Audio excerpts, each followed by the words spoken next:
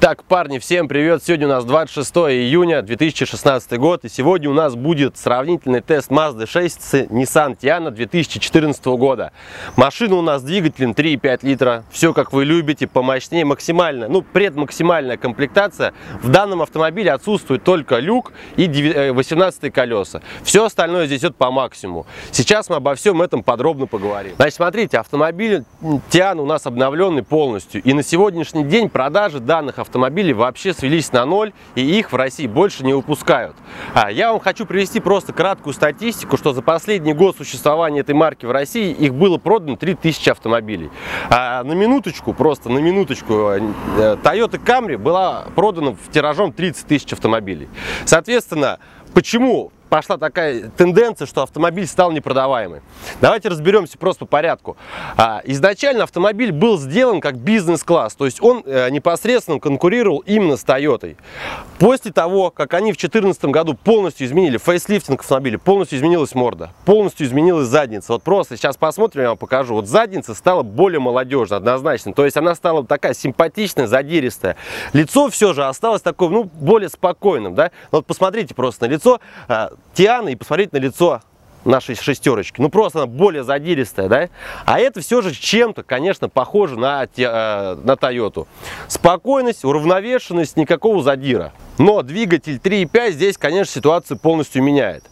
Тапочку в пол нажимаем, машина реально уходит очень быстро. Разгон у нее по паспорту 7,2 секунды. Соответственно, это непосредственный конкурент по разгону для Toyota Camry. Потому что Mazda 6 с двигателем 2.5 пойдет до сотни у нас 7,8. Значит, смотрите просто сами вот с этого ракурса. Вот обратите внимание, что опять же, вот у Mazda за счет того, то, что морда более скошенная, в этом есть какая-то просто вся агрессивность. Вот посмотрите просто у Тиана, да, морда чуть-чуть вытянута вперед, а Фары у нас стоят биксеноновые. В данном случае с Mazda 6 у нас идет уже оптика диодная, и она еще подруливает. То есть, когда мы рулим влево-вправо, фары следуют за вами. А, противотуманки остались здесь также галогеновые, в чем на самом деле лично я вижу большой плюс. Я не понимаю, зачем Mazda поставила в противотуманке диоды, Наверное, в этом есть какое-то там новшество, движение вперед, но, на мой взгляд, эффективности ради нужно отметить, что галогеновый свет для противотуманок самый идеальный. Еще одну просто немаловажную черту хочу отметить в компании Nissan. Они сейчас все свои автомобили подгоняют под один шаблон. То есть, вот смотрите, Nissan Qashqai, Nissan X-Trail, Nissan Patrol, они... А, Patrol пока еще рано. Patrol вот единственный, кто остался, который в премиуме. Pathfinder, они становятся все, в принципе, одинаковыми. То есть, если в потоке машина идет, не всегда ты еще издалека узнаешь, что это едет. Qashqai, X-Trail или Pathfinder. Тоже самое здесь. Вот Тиана, Тиана, если она едет спереди, то ее легко можно перепутать с Nissan Sentra, который гораздо дешевле, но в целом он чем-то на нее кузов очень похож. Он уже, поменьше, да, он классом ниже, но тем не менее, вот издалека где-то поедет машина. Частенько путаю, постоянно думаю, опа, Тиана новая пошла. По заднице, например, также определяю, но опять же раз, Сентра. Так, парни, теперь давайте подаем просто к машине поближе, просто полностью машину обойдем и посмотрим. Вот смотрите, диски у нас идут 17 -е. Я считаю то, что в этом на самом деле есть огромный плюс. Почему? Во-первых, а, машина идет помягче, но в тот же момент этот кузов, он реально доработан. То есть, например, даже владелец данного автомобиля, у него до этого была также Nissan Tiana, он на ней ездил, говорит, машина раньше была более валкая. Этот автомобиль, соответственно, стал более жестче, он лучше держит дорогу. Но в тот же момент, если сравнивать его по управляемости с Mazda 6, то Mazda 6, конечно, в этом плане едет и держит дорогу гораздо лучше. У машины подвеска затянута гораздо сильнее и управляемость автомобиля намного четче передается через руль. И, в принципе, э, машина больше идет как спортивная. Здесь же машину все же оставили задиристую, такую молодежную ее сделали. Но, тем не менее, валкость у нее какая-никакая немного остается. На больших скоростях она все же будет присутствовать, то есть затяжные повороты. Тем не менее, при управляемости до 160 км в час, то есть вот вы влево-вправо без проблем можете на ней передвигаться, никакого дискомфорта не будет. Диски, смотрите, Стандартные ниссановские диски, стандартные их узоры. В принципе, я считаю то, что выбор 17 дисков намного ну, рациональней. В каком плане? 18 на этой машине вы, в принципе, разницу особо не заметите, но вы намного, намного выиграете, покупая машину именно с 17 дисками.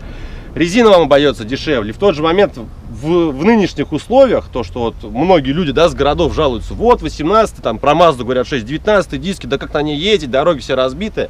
То есть вы уже должны смотреть сами под свой регион. Вот, например, у меня в городе, где я езжу по дорогам, в принципе, они все нормальные. То есть в состоянии, ну, я вам честно скажу, 4 с плюсом. Все, что было разбито, уже так подремонтировал. наш мэр. Мэр красавчик. Вот.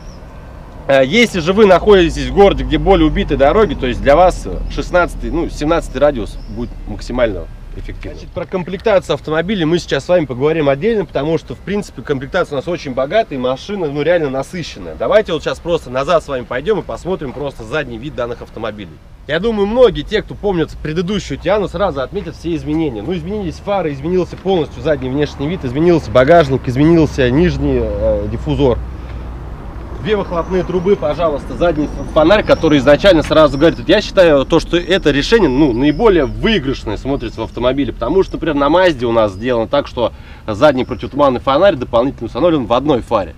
Но в вечернее время, когда включаешь, то есть оно, есть такая антисимметрия. Один фонарь у нас там красный полностью забит, другой белый, то есть для заднего ходовика. Здесь же вот идеальный вариант. И машина реально смотрится, ну просто посмотрите сами, ребят. Скажите, как вот она, а? Ну вот, вот все, да, пацаны смотрят на жопу. Ну вот как она вам? Вот возьми просто крупным кадром, вот покажи, пожалуйста, там две машины, просто вот одну и вторую, чтобы они обе попали в зад, вот в кадр. Нет, ты возьми просто прям вот полностью кадр, чтобы вот две машины в них вошли. Вот отсюда стоит, не тряся особо. Соответственно, в моем случае, как я вам уже говорил, то есть баночки я себе наваривал, они у меня сотого диаметра. Здесь изначально идет, то есть машина стоковая, владелец с ней ничего не делал, то есть как вот он ее купил, есть там ряд дополнительного оборудования, которое ему поставили, но это внутренняя там защита картера, в передней части стоит сетка для защиты радиатора, вот, а так, в принципе, автомобиль полностью стоковый. Значит, смотрите, что касаемо багажника. Сейчас мы просто, я вам его замерю, покажу, что, в принципе, багажник, он такой же, как в камрюшке. То есть он вот, 116 сантиметров, да, вот если брать по максимуму, то тут все можно засунуть. Но здесь у багажника есть свой минус. Вот смотрите, вот его просто отмечает даже владелец автомобиля. Он, в принципе, большой, то есть все без проблем. Но он говорит, вот перебывал машину, беру колеса, резину, все сложил, пожалуйста, закрывать багажник. А вот смотрите, когда закрывать начинаем, вот обратите внимание, вот эта часть вот здесь прилежат колеса, и все, она в него упирается, и то есть багажник уже до конца ты не закроешь. То есть все, пожалуйста. До этого еще был автомобиль владельца Kia Optima, там в принципе такого вообще не было. Там совсем другой используется способ закрытия багажника. Вот смотрите, иди сразу сюда. Вот смотрите, как сделали в Мазде, да? Вот здесь, например, вот все свободное пространство, какое есть, то есть вот, ты, пожалуйста, кладешь сюда, если ты сюда поместил колеса, то такой проблемы не будет, потому что оно вот, все убрано. А там получается так, то, что ты открываешь его, за счет того, что вот, этих, вот эти вещи здесь нигде не, спра не спрятаны, места больше. Но в тот же момент, оп, свой косячок. Ну, а это не страшно, когда, например, вы перевозите какие-то продукты. То есть все, вы наложили, положили подальше коляску, положили здесь сумки, вещи. То есть, ну, понятное дело, сумка там с вещами, с, там, с тряпочками. Раз, все, закрыл. Хочу отметить то, что автомобиль у нас был куплен в 2014 году. У него сейчас пробег э, около 40 тысяч километров. Вот просто не только исходя из того, что автомобиль белого цвета, но вот качество лакокрасочного покрытия вы можете судить сами, но, естественно, вы по камере этого не передадите, но поверьте мне на слово. То есть, вот пройдя по автомобилю везде, краску смотришь просто, он, блин, как новый. То есть, и в принципе, вообще, никаких сколов по автомобилю нету. Никаких проблем с автомобилем нет. Особенно с передней частью, если смотреть, там то же самое, все будет новое. Что мне нравится, вот уже во втором автомобиле снимаем, да, вот была Тиана, была у нас Камри, теперь у нас Тиана, то, что здесь реально тоже хорошая шумка. И двери здесь тяжелые. Вот если даже дверью хлопнуть просто, она нормально закрывается. Если же я хлопну дверью в Мазде 6 в нашей, то она как бы более погремушная, что ли, она легкая дверь. Особенно вот передняя, бывает так, то, что ты хлопаешь ей, и когда идет порыв ветра сильный, бывает так, то, что прям визуальный эффект получается, как будто машина чуть-чуть ходит. За счет чего это достигать? За счет того, то, что э, очень тонкая машина у нас. Смотрите, вот стучишь сюда, шумки нет совершенно. И то же, то же самое здесь, смотрите. Здесь у нас звук ее даже более глухой. Вот просто если вслушаться, а там звук такой более погремушка. Значит, э, сейчас я сидел за рулем, пожалуйста, соответственно, сиденье настроено под меня. И сейчас я просто так же спокойно сяду назад. Но не будем брать, как обычно, это все вот эти вот колени спереди просто. Я сажусь в автомобиль, и мне комфортно. Соответственно, все то же самое. Сел, все, пожалуйста, поехал. Есть свой минус небольшой, то что, видите, вот задняя часть, вот здесь вот, она закрыта. Соответственно, многие это отмечают, что вот если я сейчас нахожусь в макасинах, да, я, пожалуйста, ноги могу засунуть. Будучи зимой в каких-то больших ботинках, то есть я их уже туда ноги не подсуну. То есть поэтому можно будет сидеть вот, то есть вот так вот, не больше. Но в принципе это не страшно, потому что сидишь, все, пожалуйста, сел, поехал. Все есть. Есть подлокотник. Пожалуйста, у нас подлокотники установлены, покажи. У нас подлокотники установлены подогревы. Все, стаканчики. Без проблем. Сели, поехали. Детское кресло, то есть все. Принципе, вот машина вот реально семейная такая. Комфортная машина, что сел. На дальняк можно прокатиться, за покупочками съездить. То есть она вот отличная. То есть я считаю, вот именно эта машина, вот ее выберет тот, кому вот больше 35 лет. Вот то постарше, то есть вот все, но еще есть такой озорной молодой характер, вот хочется чего-то красивенького, такого симпатичного. Вот эта машина идеально могла бы подойти.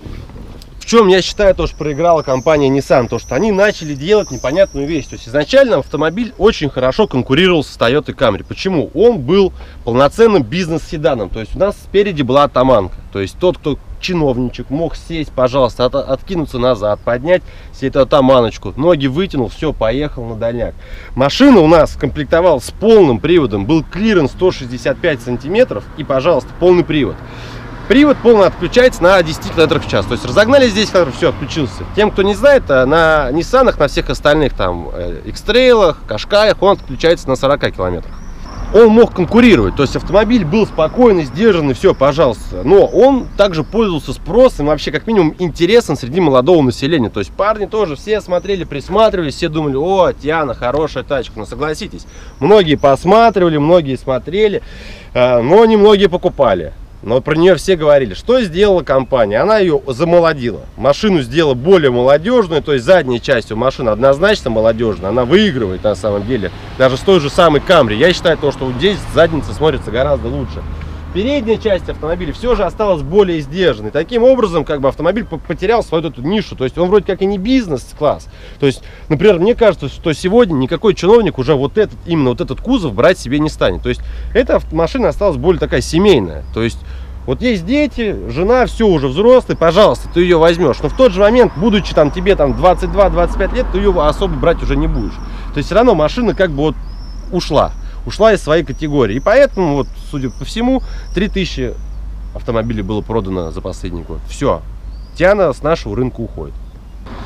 Значит, сейчас мы пойдем в салон автомобиля, просто посмотрим изменения. Парни, под капотом у нас 3.5, я его никогда не поднимаю в своих видеообзорах. Вообще, для чего и почему? Потому что мы снимаем себя новые автомобили, и вам, как владельцу нового автомобиля, знать, что находится под капотом, вообще не нужно. Вот это вот поднять вам показать V6. Стоит V6, все, пожалуйста. 249 лошадиных сил. Куда здесь заливать жидкость, омывай, омывающую жидкость, вы вся разберетесь.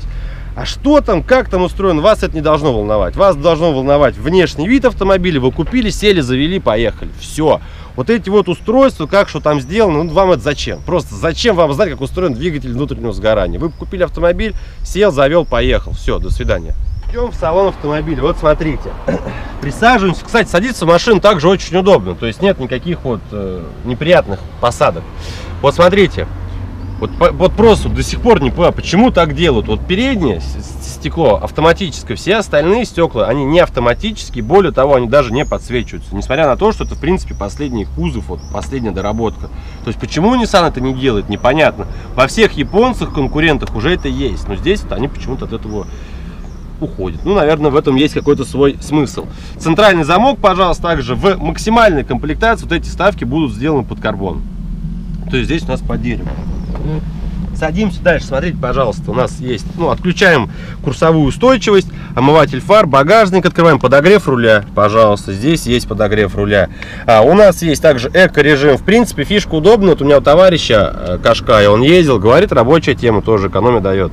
Есть задняя шторка, так же, как в Mazda 6 и в Camry тоже есть. Как вы уже знаете, здесь стоит у нас вариатор, а, но у нас есть также режим DS, вот покажи его. То есть, когда его включаешь изначально, ну, а он начинает имитировать автомат. Многие отмечают то, что в принципе фишка прикольная, она реально похожа чем-то на автомат. То есть он уже держит оборот, тоже кидает, то есть есть вот эти рывки, толчки, переключения. То есть, ну вот опять же, вот для кого это было сделано? А это было сделано для тебя. Вот ты вот молодой, вот для тебя это и было сделано, чтобы тебе э, было приятно. Вот, у нас есть вентиляция сидений. Вот представьте просто, пожалуйста, в машине уже все, есть вентиляция. То есть, вот, вот эти вот фишки, да, вот они уже не сочетаются, например, в Mazda 6 этого ничего нету. Ни подогрева руля, ни вентиляция. Но Mazda 6 автомобиль немного другого уровня и немного другого класса. Он у нас, конечно же, более молодежный, он чисто в классе D. А Тиана пытается, ну, по, по крайней мере, позиционирует себя как бизнес-класс. Многие, кстати, спрашивали, в чем различие от бизнес-класса и D-класса. На самом деле вся классификация идет именно по размерности автомобиля. А немногие знают то, что Mazda 6 на самом деле больше, чем Nissan, э, чем и Nissan Tiana. Она вот на 20 миллиметров там больше по длине, по ширине. И также больше Toyota Camry. То есть э, Mazda 6 длиннее Toyota Camry, Mazda 6 шире Toyota Camry, но Mazda 6 не выше Toyota Camry. Но места там больше, потому что сам кузов автомобиля немного устроен по-другому. У нас здесь также есть подстаканники, здесь у нас прикуриватель расположен. А все остальные фишки, просто мультимедиа, в принципе, здесь уже ничем не удивитесь вы. То есть все то же самое, есть навигация, есть дисплей цветной многофункциональный. Вот, но он полностью переработан. Сейчас, в принципе, вот эта вот часть центральная, она во всех автомобилях Nissan. То есть она присутствует в Тиайнах, она присутствует в X-трейлах. Обновленный Мурана скоро выйдет в России. То есть, в принципе, здесь уже дальше все идет вместе. Вот пластик весь, пожалуйста, он мягкий. Вот, ну, есть вот жесткий, смотрите, вот здесь есть он еще нормальный, но вот этот прям пластик, он более дубовый. Но, тем не менее, э, скрипов никаких нету. То есть машина сделана, в принципе, качественно. Э, сам знаю по себе то, что скрипы на Nissan начнут появляться, но это больше за 80 тысяч километров. Опять же, при условии того, что у нас дороги разбитые. И вот этот вот перепад температурного режима, когда машина, вот температура сейчас 32 градуса на улице, а зимой у нас минус 25. Вот именно в этих периоды, когда пластик он то сужается, то ну, нагревается, становится более мягким. Вот именно в эти периоды и появляется, вот начинается тут разбалтывание, вот эта расхлебанность идти, что со временем превращается так, в неприятные, так сказать, скрипы. Вот. Сидеть в автомобиле удобно, также есть различные регулировки, большой подлокотник у нас, он, пожалуйста, здесь вот все, все вещи умещаются, сидеть в машине удобно. Руль, вот обратите внимание, то, что руль на самом деле меньше, чем в той же самой Тиане, в, той, в том же самой Камри, в той же самой Mazda 6, то есть он, в принципе, более такой удобный, на мой Значит, взгляд. Я сам лично, когда выбирал автомобиль, я также присматривал себе Тиану, я хотел ее купить, на самом деле тогда просто, так как у меня уже есть автомобиль Nissan Murano, а, мне, честно говоря, захотелось чего-то новенького. Но если бы я бы не обладал бы автомобилем Nissan Murano, то, скорее всего, ну, как минимум, я бы долго-долго бы выбирал бы между Mazda 6, Mazda, э, Nissan Tiana и, возможно, Kia Optima. То есть, вот обновленная Kia Optima, она, кстати, будет следующая на тесте, э, реально машинка интересная получилась. По управляемости автомобиль, в принципе, реально изменился. Вот посмотреть просто еще капот какой стал. То есть, мы когда едем, то есть капот такой высокий, и вот крылья просто слева-справа, они такие задиристые. На самом деле, чем-то напоминает Infiniti. Несмотря на то, что компания Nissan и Infiniti это, в принципе, одного и того же папы, скажем так, просто один и тот же там папа в этих компаниях. И в чем-то детали пере, пересекаются. Бывает даже такое, что многие узлы и многие расходные материалы подходят как с Nissan, так и на Infiniti, ну, на определенные марки. Шумка в машине реально заметно лучше, чем в Mazda 6. Руль. Вот смотрите, вот к рулю наверняка у многих будут свои вопросы, свои тонкости, потому что руль он тоненький. То есть вот мне на самом деле это больше нравится, когда вот такой руль тоненький. Но многим нравится почему-то, и многие считают то, что руль пухлый, это намного лучше, это намного удобнее. Здесь уже, конечно, на вкус и цвет товарищей нет. Но машина чуткая. То есть вот я влево-вправо даже на маленькой скорости начинаю кидать, уже она сразу оп-оп уходит. Когда мы тестировали Камри, то есть там такого не было. То есть у Камри больше все-таки люфт руля присутствует. Смотрите, едем 40 км в час, просто слегка даем газку. Подрыв у машины сразу чувствуется. Подхват очень хороший. Ну а что говорить, у автомобиля 3,5 литра. 3,5 литра, 249 лошадей, паспортный разгон у нас получается 7,2 секунды. То есть, соответственно, здесь говорить о том, что а, машина медленная, я бы не сказал. Я бы сказал одно, что, а, в принципе, вариатор остался точно такой же. То есть, он тоже чуть-чуть задержка идет. То есть, чтобы пошел больше подрыв, прям вот резкий был отклик на газ, нужно, конечно, включить режим DS. В режиме DS машина уже сразу поднимает обороты, и, соответственно, она будет чувствовать любое нажатие на э, педаль газа более острым. Ну, смотрите, сейчас мы включаем режим DS. Все, мы его включили уже. Так, у нас сейчас будет просто лежачий полицейский. Кстати, смотрите, проезд тоже лежачих полицейских, даже на, в принципе, быстрой скорости, но для них там 30-40 км в час, он, э, ну, мягко проходит машина. То есть нет такого, что какое-то цоканье подвески происходит. Идет хороший подхват, автомобиле очень удобно. Мне сиденье вполне нравится. То есть боковая поддержка здесь присутствует. Конечно, она не так развита, как в Mazda 6, но тем не менее она есть. То есть также поясничный подпор тоже хорошо развит. Подголовник просто обратите внимание. Вот я сижу, все, пожалуйста, голова идеально. Э, влево-вправо зеркала информативные. То есть без проблем сидишь, все смотришь, все понятно, все ясно. Значит, вот таким у нас получился краткий сравнительный анализ. А, всем тем, кому интересно больше посмотреть про Mazda 6, подписывайтесь на мой канал, заходите. Я про него уже снял очень-очень много роликов. Соответственно, сейчас мы делаем акцент на более другие автомобили. Соответственно, на канал Ссылка будет в описании, все вы там для себя найдете. Э, к сожалению, сегодня данный автомобиль больше не продают, то есть, соответственно, вы уже сможете купить его только либо бэушным, а, либо заказывать в других городах, везти, завозить, растама, растаможить автомобиль придется. Ну, понятное дело, никто этим сейчас заморачиваться не захочет, потому что все будет упираться в денежку, в копеечку. Значит, следующим у нас на очереди будет Honda Accord а также будет Kia Optima. То есть, кто быстрее сейчас, вот кого я быстрее найду для теста, пожалуйста, того и снимем. Ну а так, подписывайтесь на канал, ставьте лайки и до новых встреч, парни. Пока-пока!